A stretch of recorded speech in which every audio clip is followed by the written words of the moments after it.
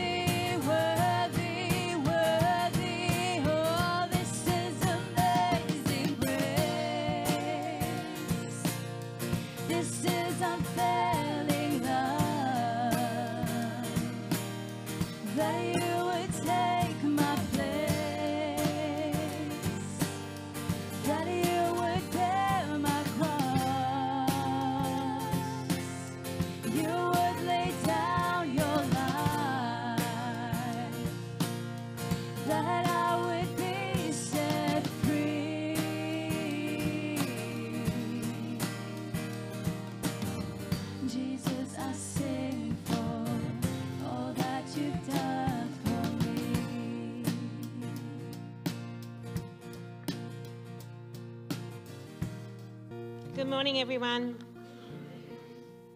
Um, I welcome everyone and any visitors to the church and our online viewers. Special welcome to Angelo and Faith. Sorry, bringing our and I'm looking forward to Angelo's sermon for today. There's no birthdays or wedding anniversaries this week. Monday we have um, Boys Brigade starting again after the holidays at 6:15 p.m. Tuesday we have the Connect group at 9:30 a.m. and we have Diaconate business meeting at 7 p.m. on Tuesday night. Wednesday we have KYB at 9:30 a.m. and on Thursday we have ASD support group at 9:30 a.m. And next Sunday a morning worship at 9 a.m. Upcoming dates we have Tuesday, the 25th of April, is Anzac Day, our public holiday. Wednesday, the 26th of April, is Shed Happens. On Saturday, the 29th of April, we have the Country Gospel concert at 7 pm with Dean Perrott. Um, and I'm sure there's, there's a pamphlet out about that. Our May Mission Month is fast approaching. Please read the details in the bulletin. And if I've missed anything, remember to read our bulletin as it has more details in there. Thank you, everyone.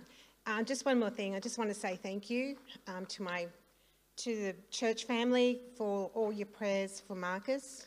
I really, um, behalf of David and I and Marcus, thank you because um, and just keep praying for healing upon his eyes. Thank you. Hey, how good is it to welcome Marcus back among us? Where are you, Modi? Hey, it's great to have you back, and we will certainly continue to pray and, uh, and seek the Lord. Um, Tony's home this morning looking after Jen. She's crook. Um, Jackie's in bed crook. And uh, found out this week that her sister's entered, not Trish, but Lorraine, the next one up, has entered end of life treatment. So Jackie wants to get well. So, yeah, big time for the family. Um, Cole and Leanne. Cole had COVID early in the week, and he's kind of on the upside of that. Leanne has now come down with COVID, so we certainly need to pray for her. And Tony told me uh, a lady that was once here, Sue Goswich, has received some tough news this week um, with six, about six months uh, around a brain tumour, so some some sort of a thing. So, so apart from that, we've also got other stuff we need to pray into as well. So how about we we engage a time of pastoral prayer? But before we do that, I'm actually going to ask Angelo and Faith to come up because we'll include some prayer into Hellenic Ministry and their work. Um, and as, as a part of our extension of our mission. So um, I might give this one to you, Faith. Okie dokie. So, mate, you know, I, I would understand. Um, you, you, have, you have a wonderful Greek heritage, and, you know, there's, there's kind of um, a story in there that I, I, I say ophthalmos, and you'll say it differently. But we're both talking about the eyes, aren't we? Apparently. Apparently. Mate, can you tell us a little bit about your involvement with Hellenic Ministry? Morning, everybody. Good to be here again. Um, yeah, a few years back, Faith and I went uh, on long service leave in uh, Greece. Long story short, we were touched by the Lord about the lack of resourcing for the church there uh, and got involved with a group called Hellenic Ministries, who have a monster uh, ministry in, in Greece. Uh, they have a staff of about 60, uh, most of whom are Greek and uh, they just have a huge variety of, uh, of ministries there, uh, and uh, seeking to reach Greece uh, for Christ. Would you like Yeah. to add something to that? So, I was going to. My next question was, hey, I know this is a team thing. This isn't just about Jello. Faith, you've got a huge role in this as well. Could you tell us a little bit about where you kind of how, how that works out for you? Well, I get to do one of my favourite things, which is organise travel.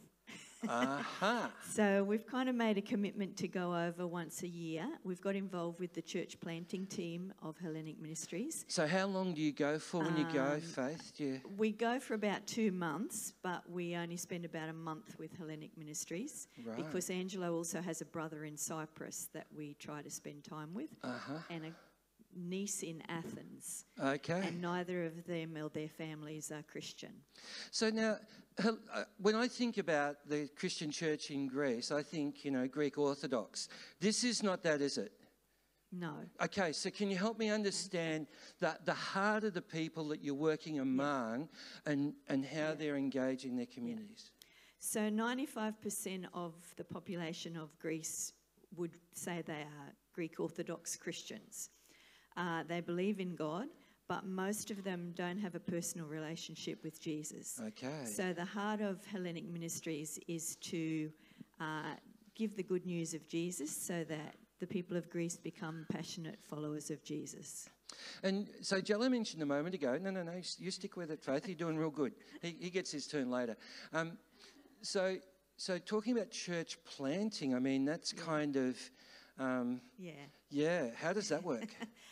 Um, historically, pretty badly, um, in that the Greek Orthodox are very were very opposed to any evangelical outsiders. They regard um, or have historically regarded us as a cult or as heretics. Yeah.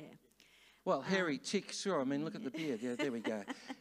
Uh, but but there's a little bit of a mellowing of that. So in the 70s and 80s, if you um, preached in the street or proselytized, tried to convince someone to change from Greek Orthodoxy to evangelicalism, you could be beat up, arrested, put in jail. Wow. Um, it was against the law. It still is against the law to proselytize under 18s. Wow. But there are um, people within the Greek Orthodox Church, including priests, who can see that we're on the same page. Okay. So, one of the goals of Hellenic Ministries is to find those people and to work with them. So, one of their ministries is um, Bible distribution. yeah. They've given out nearly 1.5 million New Testaments Wow. across Greece. Wow. And one of the things they've tried to do is get the approval of the local um, Greek patriarchal bishop. And in many instances, he's been willing to write a letter and put it in the front of the New Testament that says, This is the same Bible that we read. It's okay for you to read it. Wow. And that's a huge thing.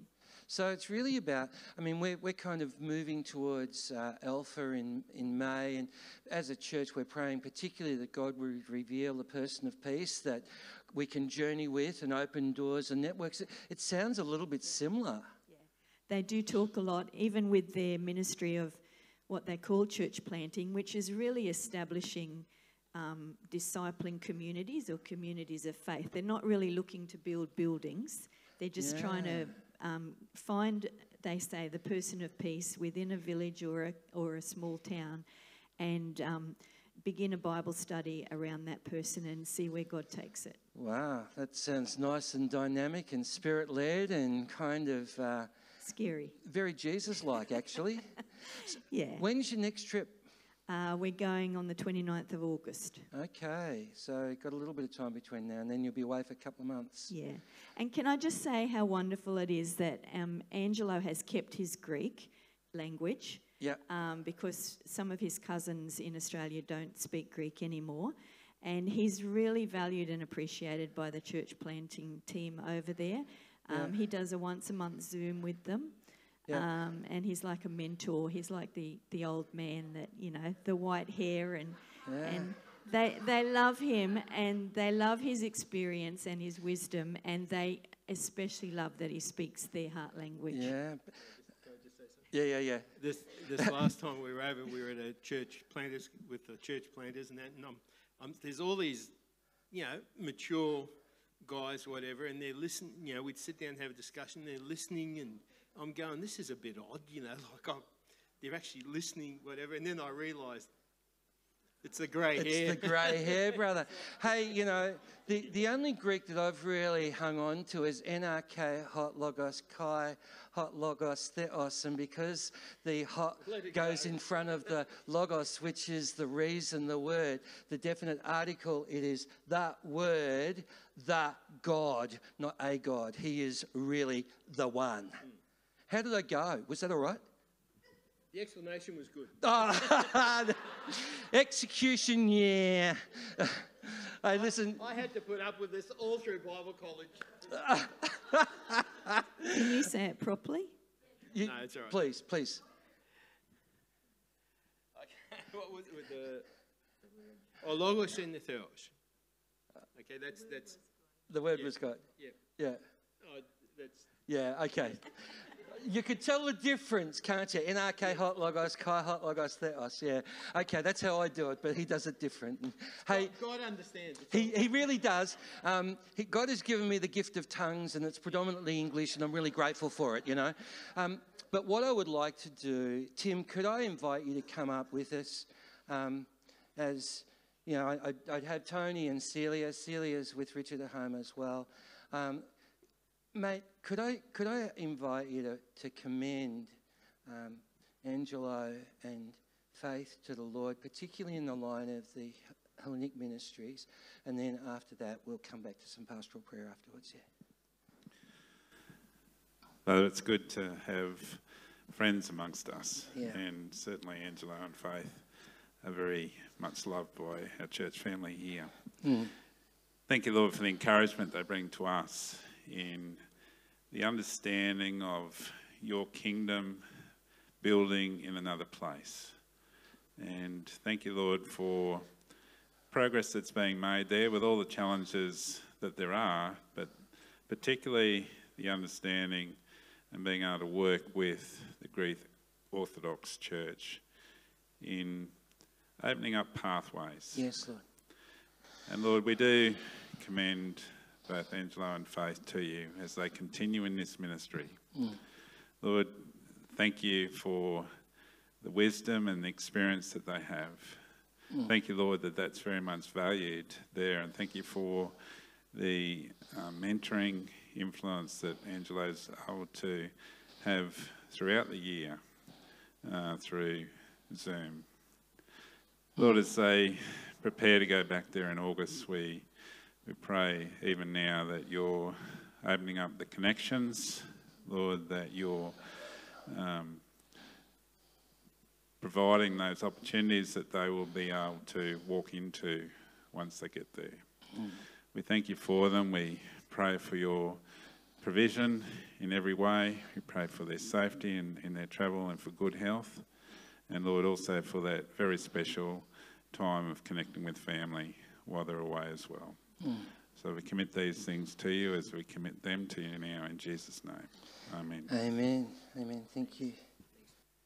And as we come to a time of pastoral prayer, just a, um, a memory jog, 4.30 this evening for an hour that we'll gather here um, specifically to pray into our um, up-and-coming uh, Alpha series. For those that are able, for those that aren't, um, if you could remember us from where you are, that would be excellent as well. And um, the nine o'clock Thursday meeting, nine o'clock Thursday to um, to eleven, Thrive and Flourish. The prayer notes uh, come out with the the newsletter each week, and there's uh, a hard copy inside the bulletin for those that uh, would like that as well. But um, so let's let's spend a bit of time just tarrying with the Lord in prayer. And Father, thank you that you do call us as a holy nation, a nation, a, a, a people set apart for you, for your purposes, that, that you've shown your grace to us, to our church family, that in Christ we now are new creations. And, and Lord, uh, with the purpose that we would be and act as you would have us to be and become. And so we do want to pray for for ourselves in one regard, Lord, that we, you, we would be prepared for this season of Alpha. And, and Lord, for our community, that you would go before and open up doorways of relationships, a little bit like Jello and Faith were talking about the person of peace, that Father, that person of peace you would reveal to us, that would we would be able to connect with and and build relationship with and and engage networks that maybe we may not be able to engage otherwise. But this morning too we want to present to you Scott and Rebecca's mum Elizabeth and pray for your comfort and peace for her as she adjusts to to the news that she's received this week. That, that, Lord, you would bring your comfort, your peace, and your grace. Hold her hand and her heart as she walks this next part of her journey. We pray for Scott and Rebecca and family as well, for your comfort and peace. Lord, we commit to you Jen and Tony as he cares for her this morning in her circumstance. And we would ask you, Lord, to be the glory and the lifter of her head. Sustain her. We want to present to you Kyle and Leanne Enkelmeyer as well. Ask you for your sustaining grace to heal and restore them. Through this COVID, get them back on their feet, we pray. We do want to pray for, for my Jackie as well in, in her flu and her unwellness and compounded by the news about Lorraine, we do pray for Lorraine's transition from this world to your presence, that it be gentle. We pray for the rest of the family that each would know your peace and your grace. We do want to commend to you Sue Goswitch as well and, and her family as she adjusts to her news. There's a lot going on for so many people, Father. We pray for your comfort and your peace for Sue and for those that know and love her. Father, we want to embrace all of our missionaries uh, with gratitude and thanks for each one, for each family, for each person, and the works that they are accompanied uh, and accomplishing in the wonderful name of Jesus through the, the expression and, and enabling of the Holy Spirit. Father, we're grateful for our privilege to partner in so many different parts of the world with these missionaries, to partner in their work, to, to pray, to financially support, to enable them to, stay, to, to keep their shoulder to the grindstone and, and, and keep reaching people in Jesus' name. And Father, we do commend the, the, the prayer life of our church to you grateful for the work that is happening by your Spirit through our Sunday afternoons as we're meeting to pray for Alpha and through our Thursday mornings as we sit and center and soak, saturate, focus on Jesus and move into intercession. Thank you for these, these ministries that are emerging among us in this time and season. Father, we, we commend all of those among us not well, because there are many more than I've mentioned this morning. Father, we pray for your goodness and your grace to be manifest among us in Jesus' name. Amen. Amen. Um, you may or may not be aware that there's been a very big cross planted basically in the centre of our nation. Um, for those of you who aren't aware, I thought I'd just share a little bit about it because it's actually pretty exciting. So, this is in Central Australia, in uh, Aikunji, which is an Indigenous community, and they, that community had a vision to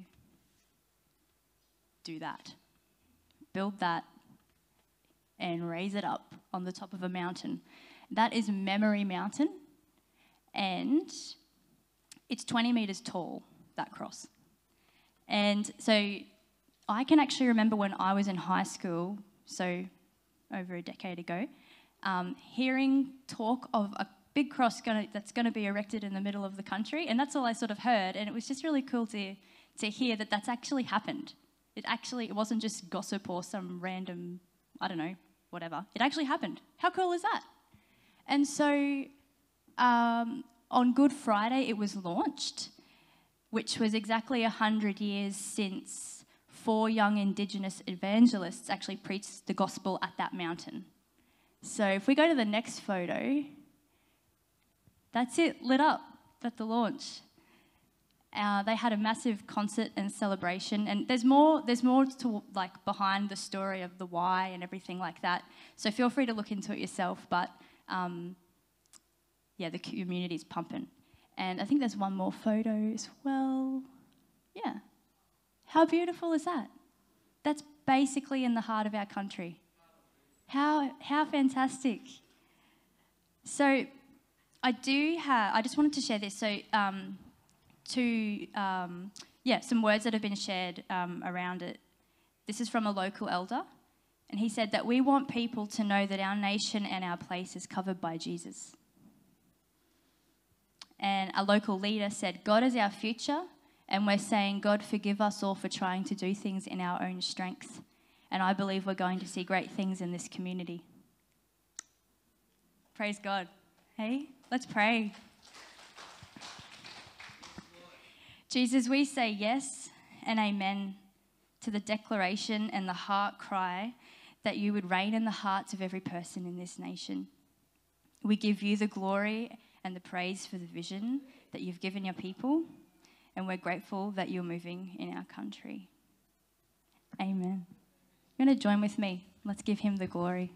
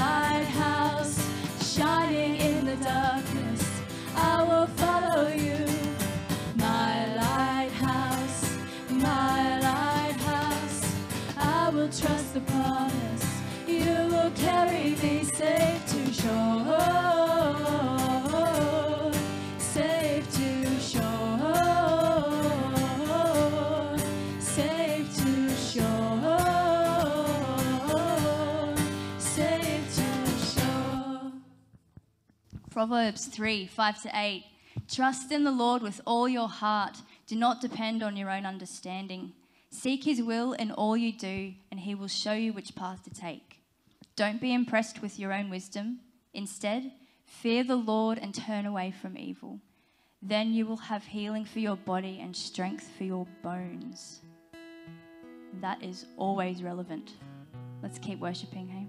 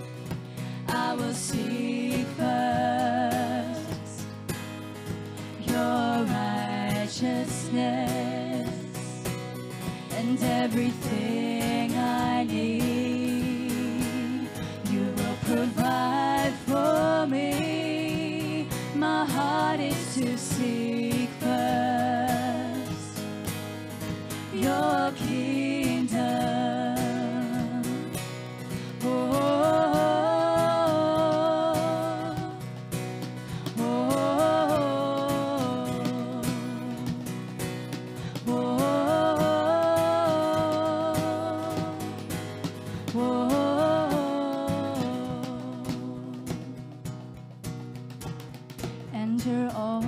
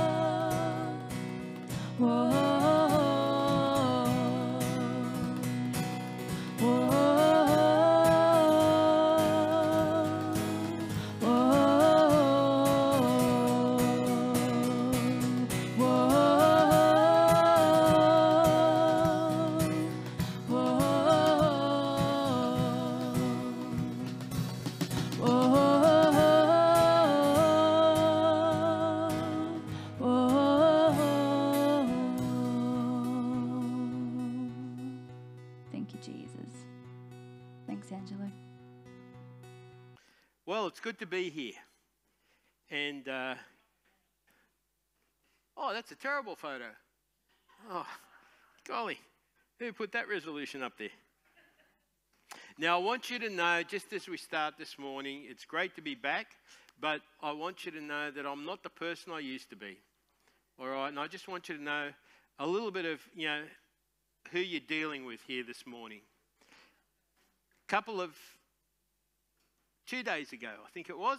Anyway, I was in the office and Faith says to me, I hear her saying, Where's the kettle? And I said, What do you mean? She says, Where's the kettle? The electric kettle, you know, that we make our coffee with. I said, It's in the kitchen. She says, No, it's not. I said, Yes, it is. What are you talking about? You know, so out I go and it's not there. So, Where's the kettle? And so we started looking. It wasn't in the kitchen, wasn't in the living room, wasn't in the dining room. Where's the kettle? It's in the cupboard. No, it wasn't in the cupboard. In the fridge. Not, not in the fridge. You know, not anywhere really. Till finally, it was in the microwave.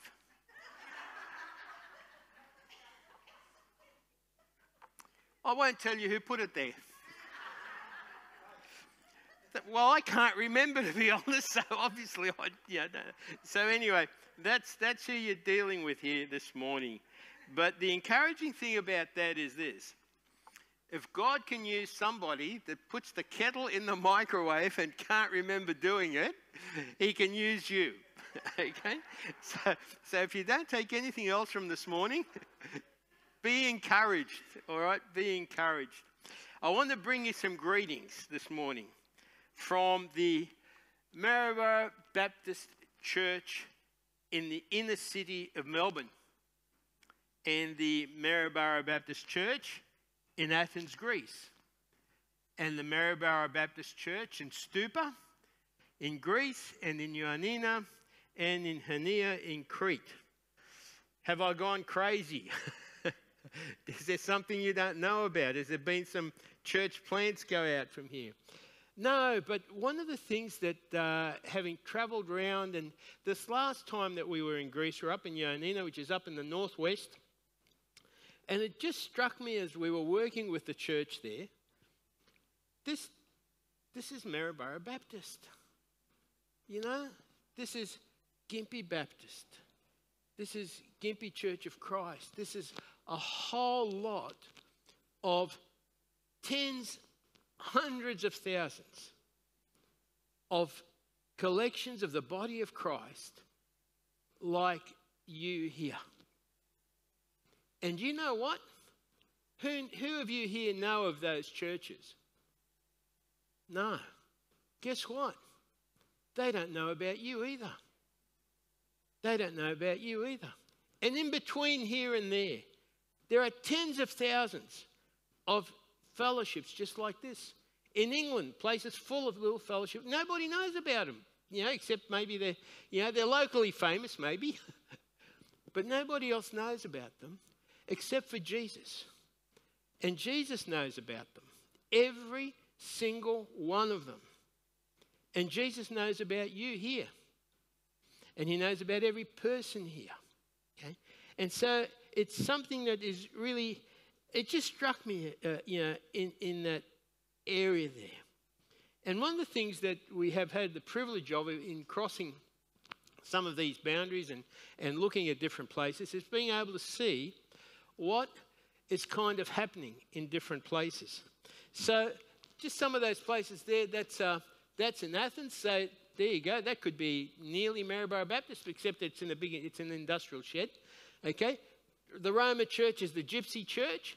So different to the, like, they really are different, you know, uh, the, the Roma people. That's underneath the house. That'd be about maybe a quarter of this area here, you know, that they, they minister. Um, okay, what have I done?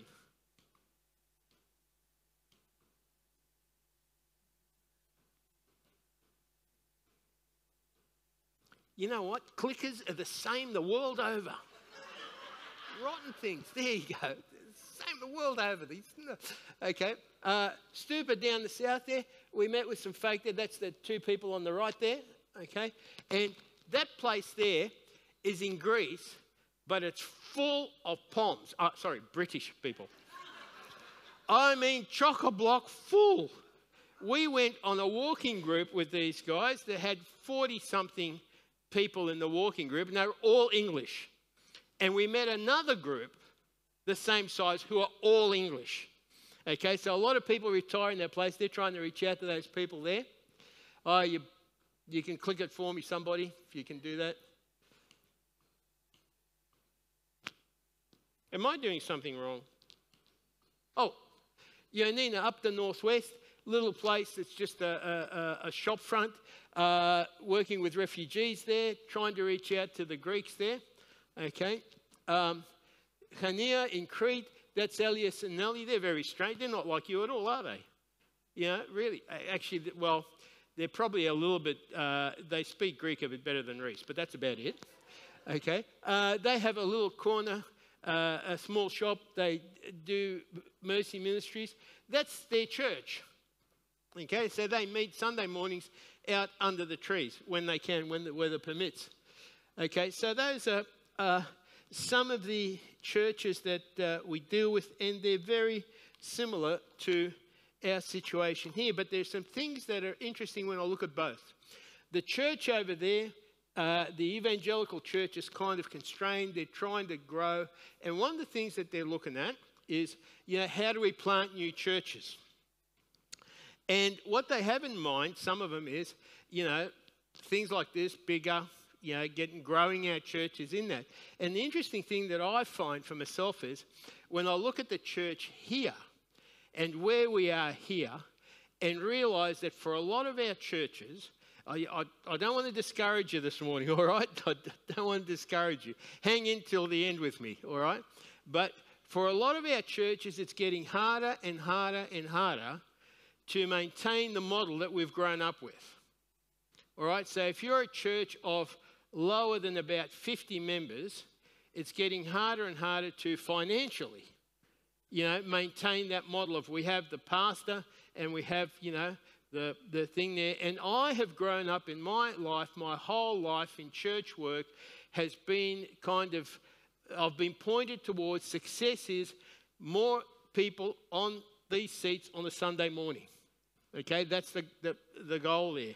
And so, one of the things is that in Australia, that's kind of pretty well gone by the wayside. You know, if you drop below a certain number of people, it'll be very, very hard for you to get back up and keep that model going. Now, there's that's a bit distressing, if you like.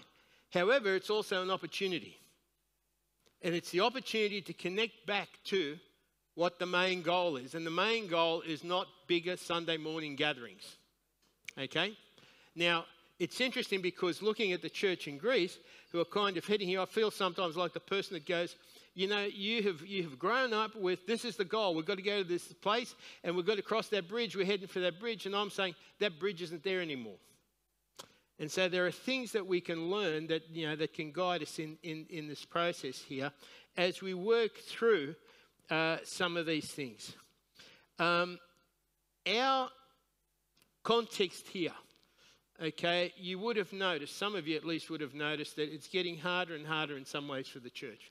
Anybody notice that?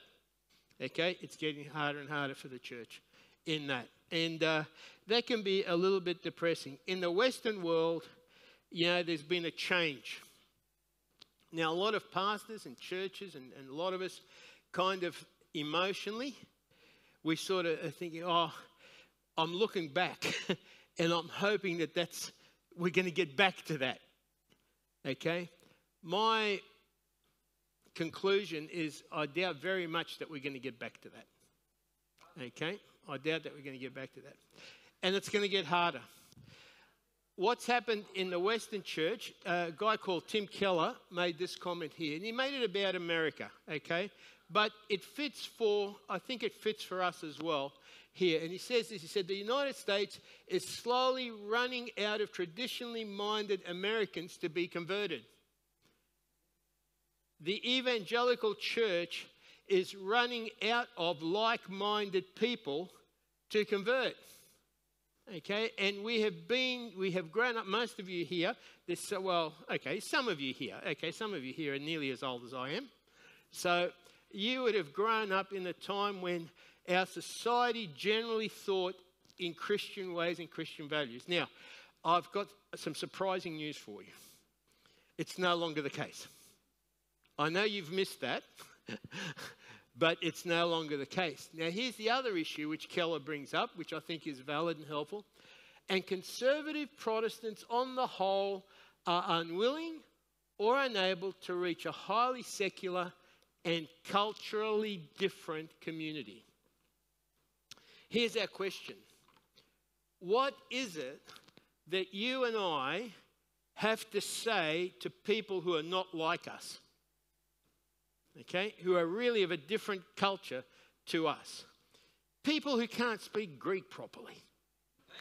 okay, what do we do with them? You know, uh, can Christ do something for us in, in, in all of that? Now, it can be discouraging because, you know, the thing I keep saying, which is encouraging, is that we're going into the world of the early church.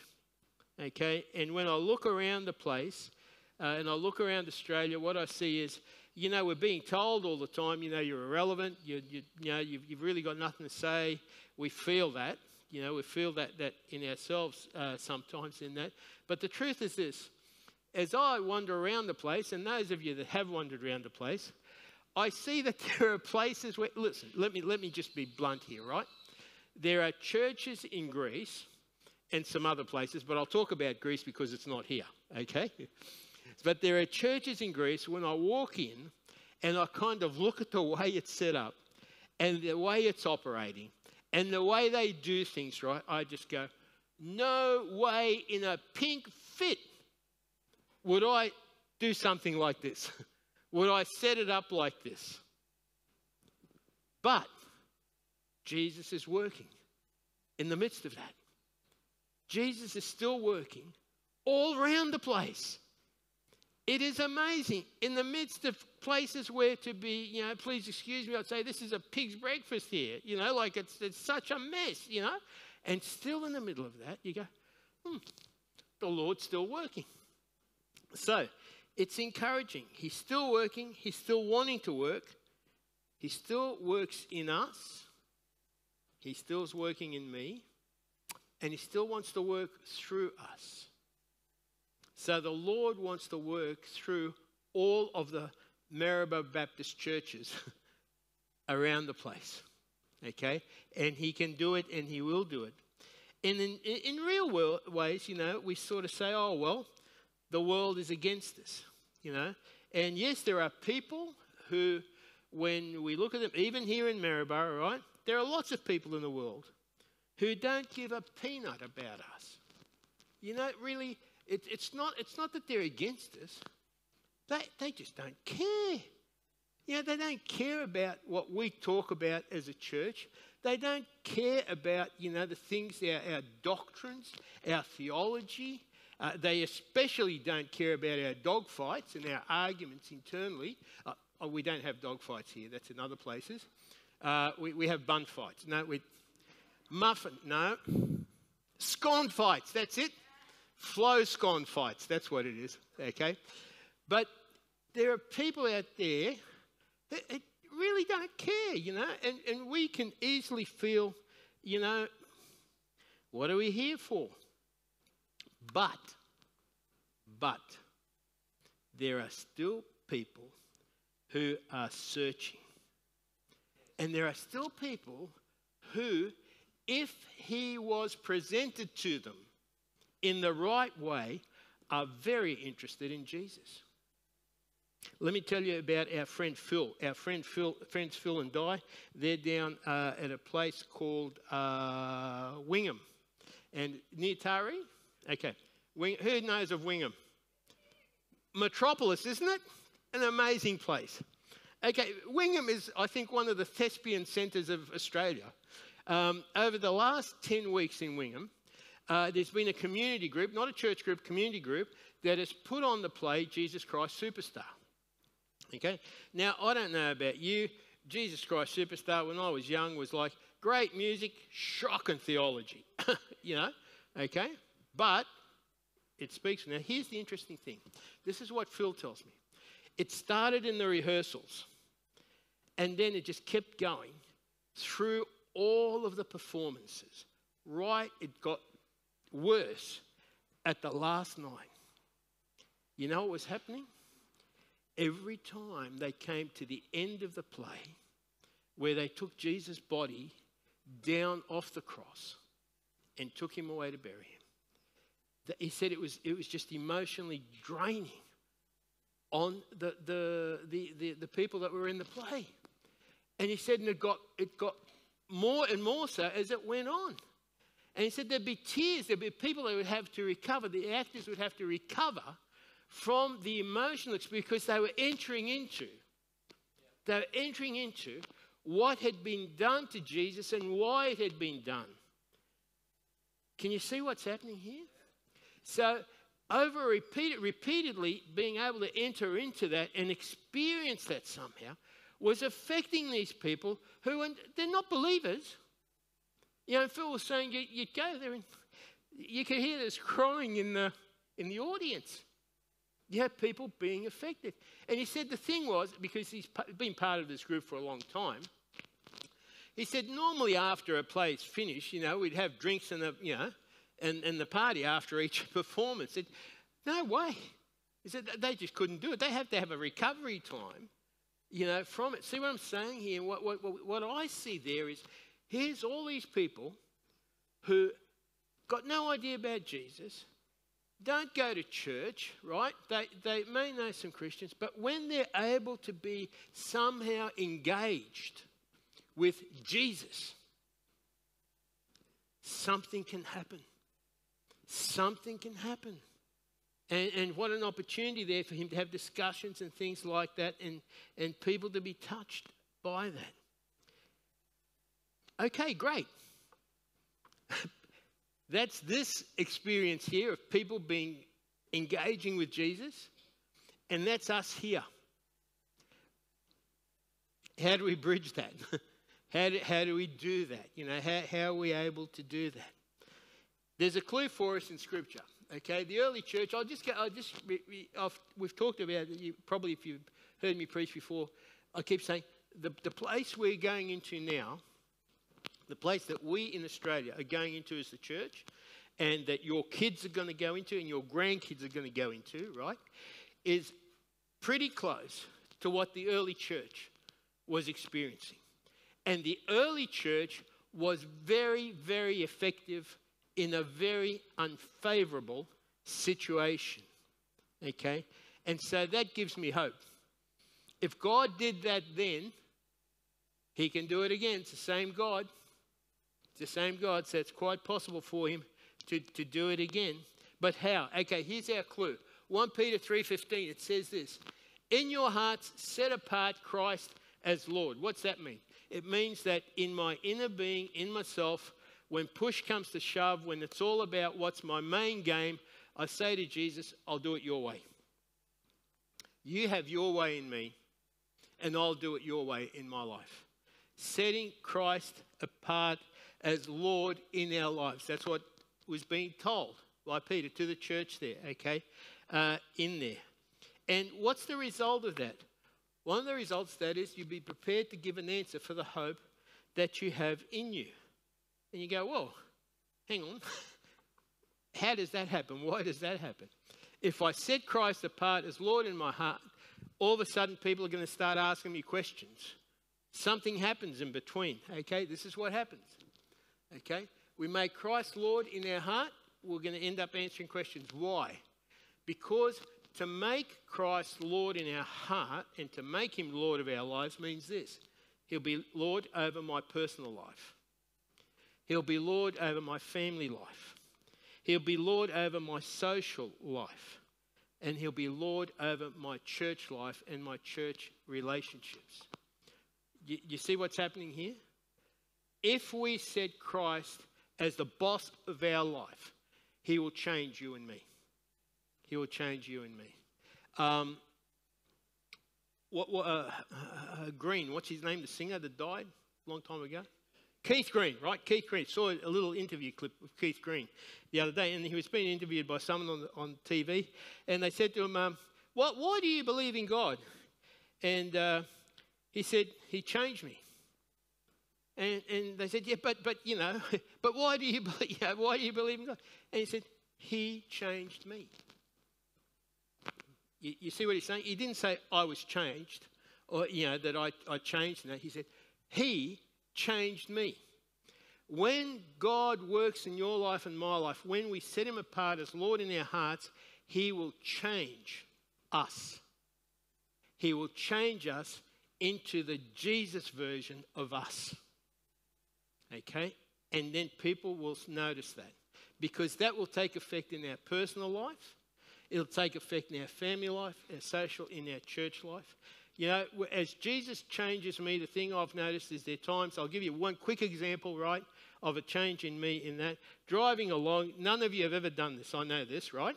You're driving along and somebody pulls in in front of you, yeah, and you're alone in the car, okay? You moron! I didn't say it. I just thought it. Jesus says to me, You can't say that, Jello. I'm going, What? What do you mean I can't say that? The guy, don't worry about him. You can't say that. But but there's nobody else in the car. You know what? What? What is it? I'm in the car. You go, okay. So I've got to make a deal then. I've got to work it out. What am I going to do? Am I going to go with that? Or am I just going to, ah, forget it? I'm, I'm just going to keep doing it. See, he changes me. And slowly he'll change you and me into the Jesus version of us. And as that happens, people will be affected in our worlds, in our families, in our churches, in our, and people will look at us and they'll say, I'll have what they're having. Not everyone, of course not, but a lot more than maybe you and I are experiencing uh, in that. And so we share with people what Jesus has done for us. That's what it means to be a witness. You know, it's, it's not about telling people theology. It's not about people telling people a life philosophy. It's not about, you know, any of that. It's about telling, being a witness to what Jesus has done in us. Here's my question Have I got enough that I've let Jesus do in me to have something to say, to have something to offer? Now, in my life, um, I would have to say that, uh, yeah, there's a, there's a lot I don't have to offer, but there is some that I do actually because he has actually done that. He has actually done that. And I can say with confidence to people, He can do that in your life as well. Now, what's that all mean for, for Maryborough Baptist? I hear on the grapevine, now I haven't ascertained this myself, but apparently, apparently there's a whole swag of new people coming into Maryborough yeah, over the next while, okay? And somebody has chucked a figure of around 10,000, roughly, people coming into Maryborough in the next little while. That's exciting, isn't it? Imagine if there was a new town with 10,000 people coming in, and we'd be going, all right, can we start a work there? Can we, you know, what, what, what can we, here's an opportunity because when people move, uh, okay, you and I know when people move, they're open to change. That's the time they're most open to change is, is when they've first arrived somewhere. It's a new place, they're making new relationships, new connections, okay? After a few years, it might be a little bit harder, but in that move.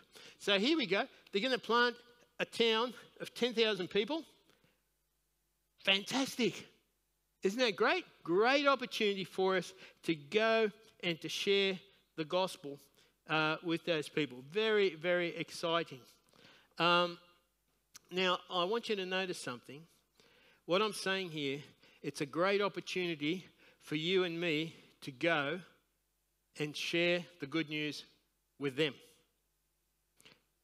Don't fall into the trap of going, oh, great, 10,000 new people, or whatever it is, coming into town. This is a great opportunity to get them to come in here and build our numbers up. Okay?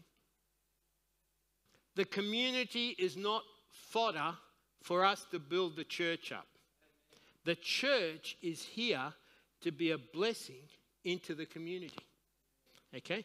And you can be. Every single person here can be. Trust me, I'm not kidding.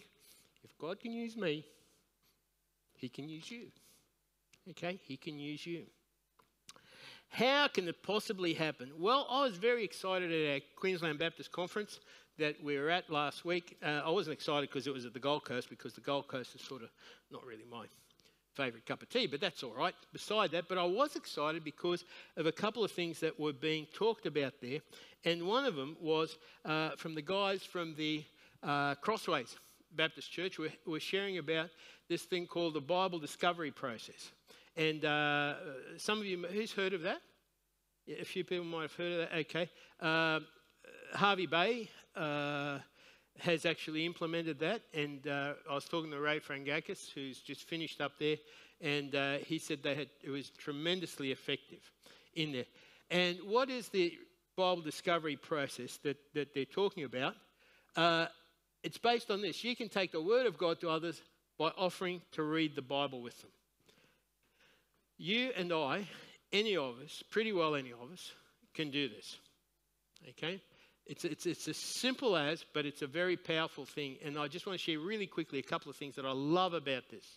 Okay? It's asking God to give me a person, anyone, in my network, all right, that I can say to, Are you interested in reading the Bible with me? And the way it works is like this. I really love it. I've done part of this, but I haven't done it in the way that these guys do it, and it's really good. And what you do is you say, What we do is we read a passage each week, we come together and we say, What is God saying to me? Okay, here's the first bit it's not what's God saying to you, it's what is God saying to me in this. Okay, and then here's the real clincher. Okay, here's a really good one which I have missed for most of my life in, in adding in, which is this. Now that we know what God is saying, that, that I know what God is saying to me, what am I going to do about it? Okay? What am I going to do about it? And then we go away, pray for each other or, you know, whatever. Go away, come back next week and say, okay, where are we at? What happened? And so here's the thing that I love about it. Number one, it's not a teaching thing. Okay? It's a mutual journey together. And it's not saying what's God got to say to you. And uh, I, I, love being a teacher, you know, like I just, I, I'll tell you what God's going to say to you. God's got a wonderful plan for your life, and I'm going to tell you what it is. Yeah? Um, I love doing that, right? But actually, it's not, no, no, no, Jello, you don't do that. You just concentrate on you, on what is God saying to me and what am I going to do about it. But I do it in the presence of another person who, you know, may not be a believer. What does that do? That's called discipling. It's called having somebody watch me and walk with me as we listen to God and do what He tells us. It's a little bit different to saying, I'm going to teach you all this stuff and I'm going to give you all this information. Okay? And sometimes I might struggle and they'll see me struggle. And sometimes I might, you know, get it right and they see that right. And it's an encouraging and it's really good. Now, here's the other thing that happens with that is that in the process that these guys are doing, and Crossways has done, a, a, a, they've been at it for about 15 years, is the thing is this: when you talk with someone, you know, with that that person, and they're doing it, and after a couple of weeks you say, "Have you found this helpful?" Yep. Okay. If you have, is there someone else in your life that you think would benefit from this? Now, here's the other really interesting thing. If they say yes, which apparently they do, even before the question's asked, you say, Will you go and do it with them. You see, you see what's, what's happening here? We're not necessarily saying, Let's get them all in here. It's like, Okay, you do it with them. There's a multiplying process that happens. Now, that's just really skimming over the, you know, the, the thing is, if you're interested, have a look at that. But the way that it's done is this you pray and you ask for somebody that the Lord will give you that may be open to that. Now, here's the thing that I learned, which I never knew before, and I'd never crossed my mind. It was just when I was sitting and, and they talked about it down at the, uh, when, uh, I've forgotten this guy's name. He's the senior pastor at Crossways. Dale Stevenson, thank you. When, when Dale was talking, he said, This is how we can recognize who may be a potential person. I thought, oh, this will be interesting. You know, um, that, that would be very helpful. He said, It's somebody you've got a relationship with. Okay, that's fine but it's somebody who has done something for you. I thought, hmm. I, I, had to, he said it a few times. He said, so it's someone you've got a relationship with, but someone who's done something. It may be a neighbour who's mowed your lawn for you or, you know, d- done you a favour, so to speak. And I thought, wow, that, that's amazing. I, I had never thought of that, but that's one of the indicators that this may be a person that's, you know, uh, that's worth asking, that may be open to us. What does that mean? Done, they've done something for you. When I thought about it, I thought, well, they're favourable towards you.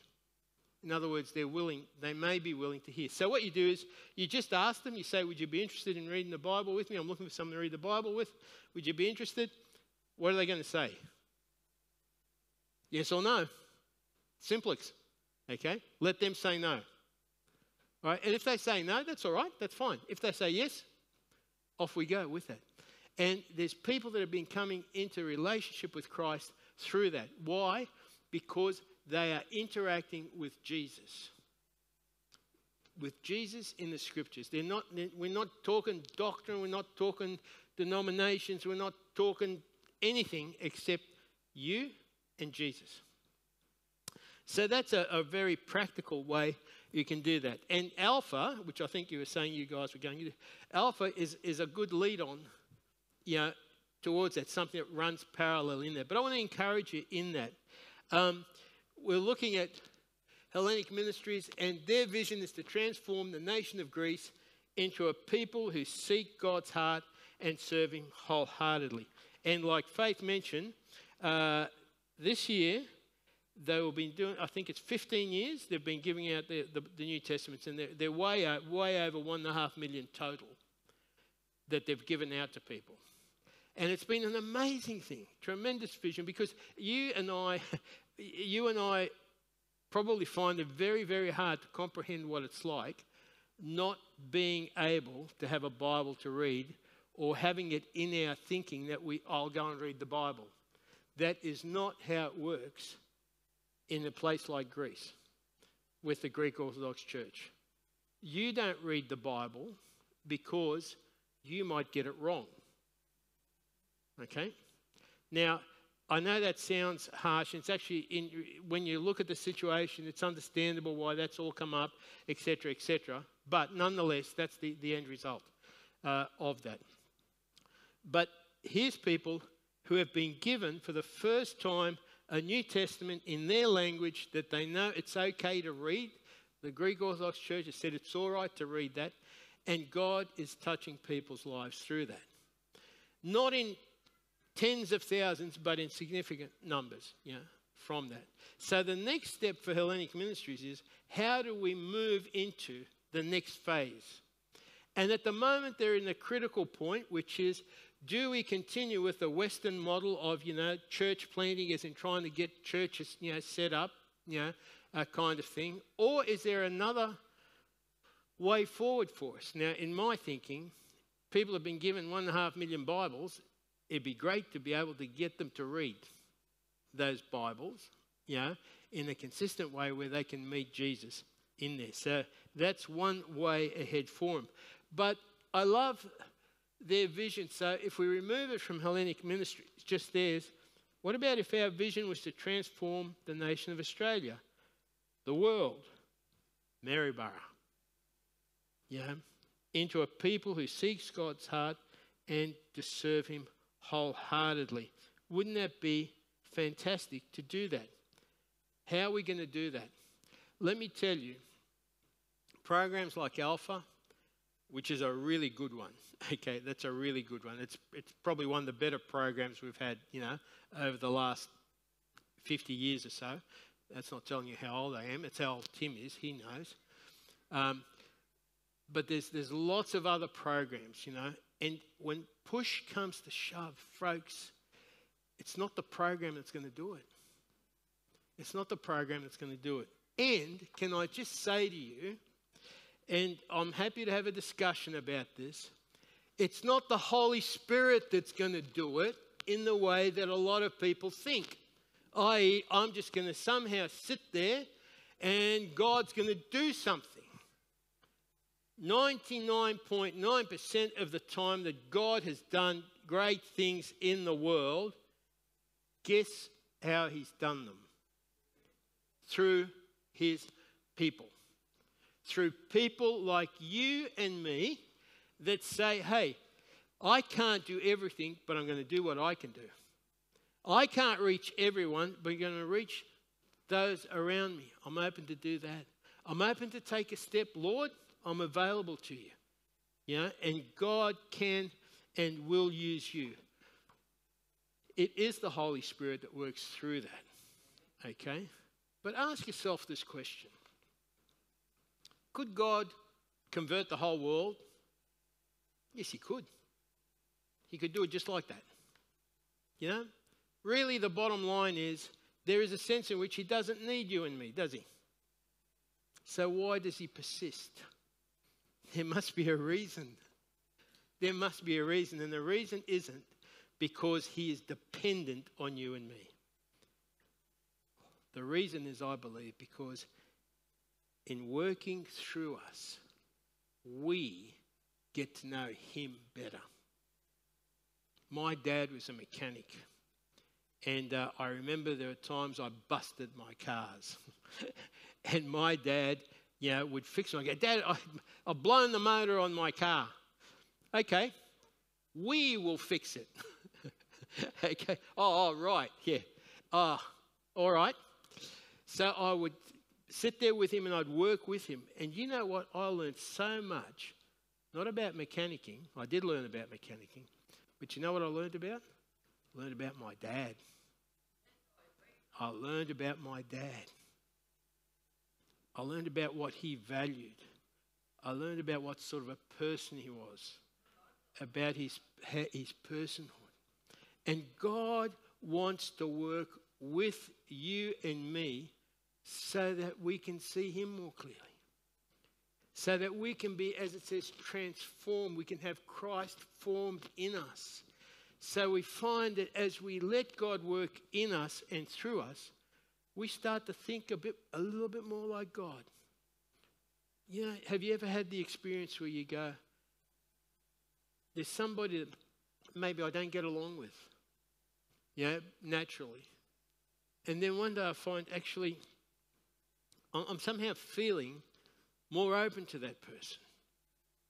And I go, that's God. That's Jesus in me. And then as soon as I hear, I go, oh, I get it. I get what you're talking about. And in my life, I'm starting to see just this much an understanding of why Jesus would go to the cross. Just, just this much. And so we get to know God better as we're involved with Him. having a good conscience. Uh, what happened there? Oh, who put these slides together? Oh, anyway, that's the second half of that verse, uh, which says, you know, to, to put make Christ Lord of your heart in 15, and then to be ready to answer the, the, questions people have. And verse 16 goes on and says this having a good conscience, which means I'm right in my heart with God. Okay? That while you are spoken against by, as evildoers, which happens, you know, Christians generally in society today, in a lot of people's minds, are now the bad guys. Okay? How are we going to fix that? You're not going to fix it by having a political argument, I'm telling you. You're not going to fix it by having campaigns and, and you know, having great arguments. You know how we're going to fix it? We're going to fix it by walking with Jesus and living Jesus into our society around us.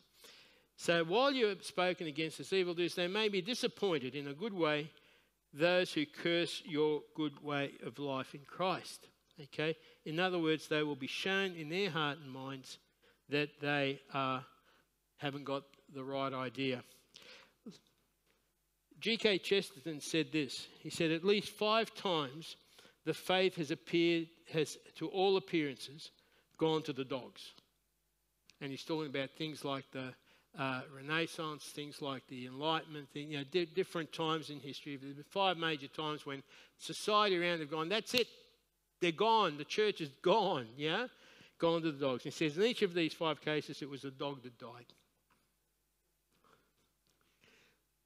I don't say that to us for us to be kind of triumphalist or big headed or whatever. What I'm saying to you is this the church of God will never die, will never go away. That is never the question. The question is always will I be on board? Will I be on board? Am I living in a way that is going to help me to survive into the world that's coming up? Am I living in a way that gives a model to my kids and my grandkids to help them survive in the world that's coming up, which is very, very challenging?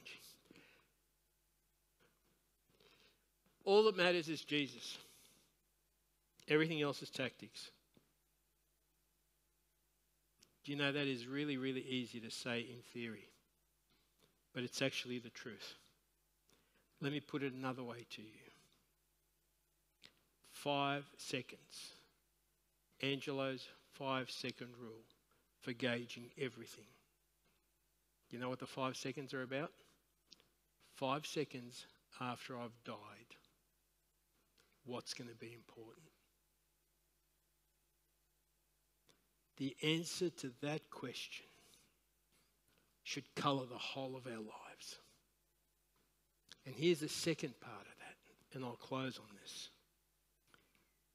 Five seconds after my neighbour has died, what's going to be the most important thing? That really needs to colour my attitude towards my neighbour. Easier said than done, but with Jesus, doable. Second half of that that I want to share with you and leave with you is this, this, this little verse. It says, Lord Jesus, let us give them the best we have. That's all those people around us. Let our life be an inspiration. You know what the, the, the Greek word for inspiration, Reese, okay? That's it. Entheos. It's, it's, a, it's a God breathing. In other words, let, let our lives show something of God show something of God, be inspired, and let our memory be a benediction. How's your Latin? Not real good. Okay, so I'll tell you. Benediction, benedicte, good words.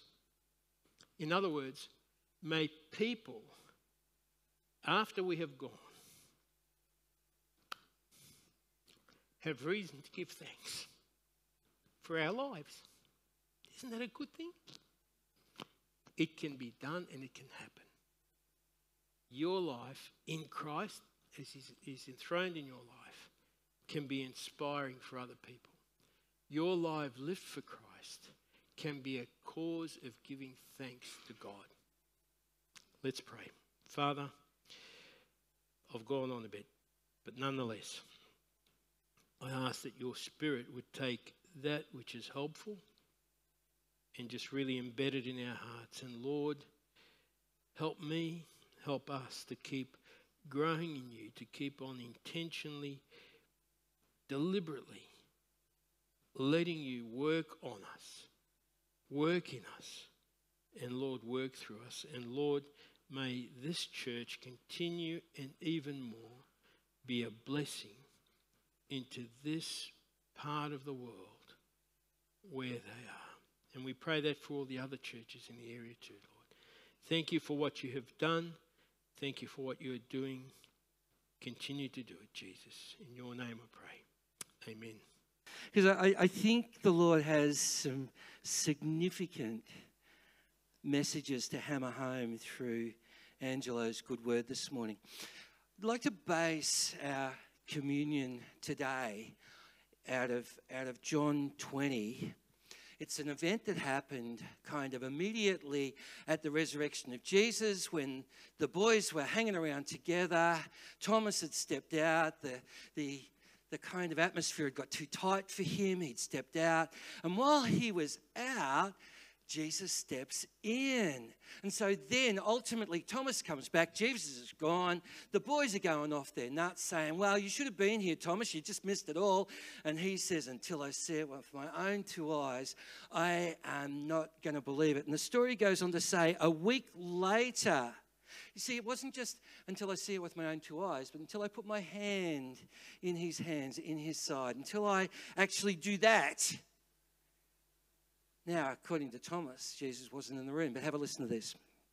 A week later, so that is a week after the resurrection. Here we go, a week later, which is why I focused on this morning. A week later, his disciples were in the house again, and Thomas was with them. Though the doors were locked, Jesus came and stood among them and said, Peace be with you. Then he said to Thomas, Put your finger here, see my hands, reach out, put your hand, put it into my side. Stop doubting and believe. And Thomas said to him, My Lord and my God. Then Jesus told him, Because you have seen me, you have believed, but blessed are those who have not seen me and yet have believed. And so here we are now, seven days after we were singing Hallelujah and Christ is risen. But in this communion service, I invite us to struggle alongside doubting Thomas. Today, we're invited, to, similarly to Thomas, as Thomas, to say that very deep thing each of us feel that unless I see him for myself, I won't believe. We're invited to feel wary uncertain, skeptical, and perhaps even envious of those whose faith seems to be a lot more secure and stronger than our own. Now, there's a great deal that's incredibly intriguing around this encounter between Thomas and Jesus. But I think for me, one of the most intriguing things is that Jesus appeared to his skeptical disciple in a body that's scarred, wounded, and traumatized. A body that openly bears its traumatic history. A body that refuses to hide its suffering, its sorrow, its brokenness. What Jesus carries is not just old scars. They're wounds that are so raw that the doubting disciple puts his finger in them.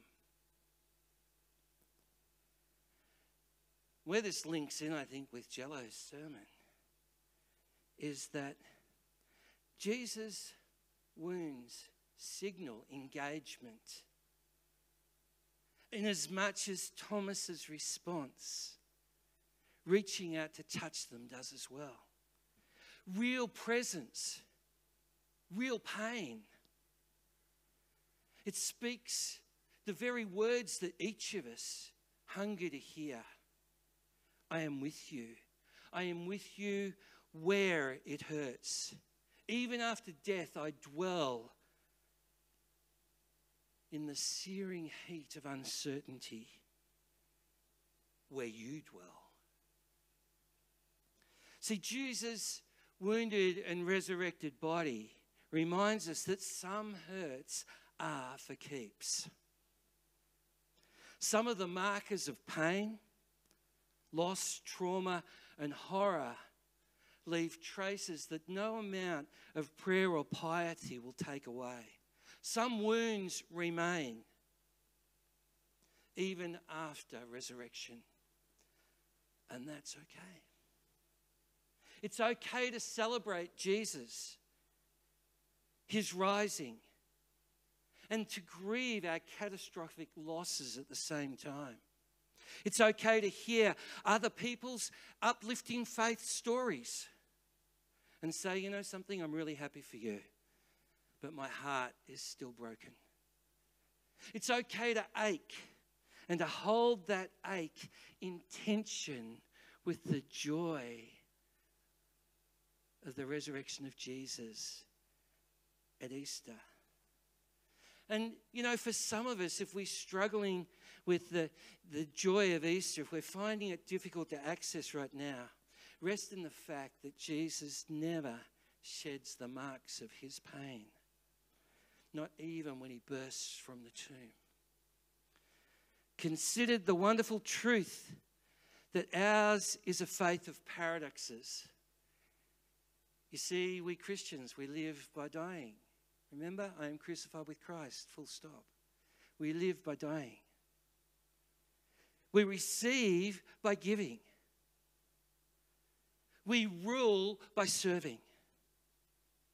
And our job is not to collapse those paradoxes, but to honor the complexities and having the courage to say, I don't know how this works honor their complexities, and live fruitfully and faithfully in the light of the resurrection of Jesus, despite those challenges. You see, we need to be reminded this morning that Jesus' resurrected body, his victorious body, it still retains the scars. Scriptures tell us we will know him who was pierced, and we will know him who was pierced because of his scars. And what strikes me about Thomas's story is not that he doubts, but that he does so so openly. Without shame, without guilt. I mean, how different the church would be if we embraced doubters similarly, as generously as Jesus did, and as generously as the other disciples embraced Thomas. Wounds and doubts, we all have them doubts and wounds. Welcome to life the week after Resurrection Sunday. Welcome to life in the shadow of an empty tomb. This is the witness that we bring to people. Despite us still journeying in our wounds and doubts, we're prepared to trust the future that we know that may not be known to a God that we do. And if this sounds a bit anticlimactic, then consider this that when Thomas's doubts meet Jesus' wounds, new life erupts. Faith blossoms, and the doubting disciple becomes a carrier of good news. Resurrection all over again. And it's verse 3 of When I Survey, the song that we sung on Good Friday. Verse 3 I see from his head, his hands, his feet, sorrow and love flow mingled down. Did e'er such love and sorrow meet, or thorns comprise so rich a crown? And so this table, it speaks richly of the wounds a place where our doubts and wounds can meet. Because Jesus honors Thomas, his desire to see more, to experience more, to encounter more. Even when Thomas doesn't have it all together, you can come to this table not having it all together. It's here for us. He blesses those who struggle to believe, but who stick around anyway. He leans towards those who yearn for more. And Jesus leads with brokenness so that we can follow him confidently into this new life and glory. So during this week,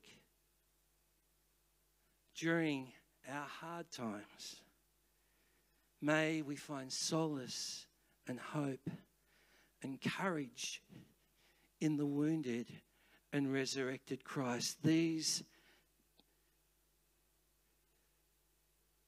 cups, one with bread, one with juice, they speak to us. His body broken, his body broken, his blood shed to bring us life and hope. Jesus does not mask his wounds, but carries them. Would you reach out and touch them this morning as you engage his body that was broken and his blood that was shed? This morning we have a tradition here that we, as the service come to distribute the the cups with the, the bread and the juice.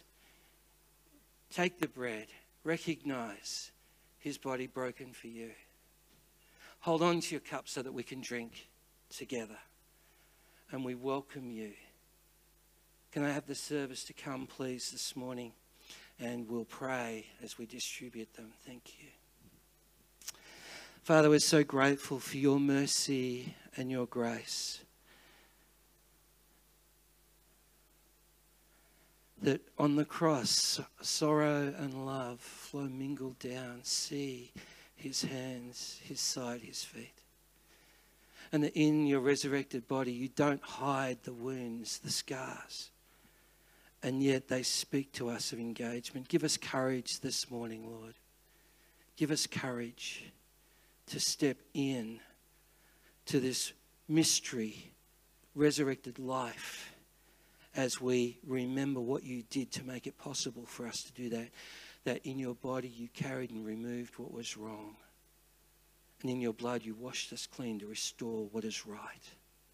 For we pray in Jesus' name. Amen. Thank you. Sing hallelujah. Christ is risen. Let's drink together symbolic of the oneness that we share in Him. Father, we're grateful for your mercy and your grace to us to bring us together as your people.